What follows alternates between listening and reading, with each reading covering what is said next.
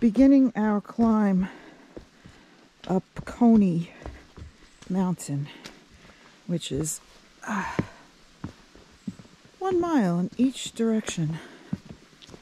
And this is some of the terrain. We've got color beginning, not right here, no color yet. And then this is what most of the Adirondack trails look like. They're just um, a bunch of rocks. And uh, here's uh, Joe, my trusty companion of 28 years, and uh, and me. I, why do I always look up? Okay, so we're going to continue.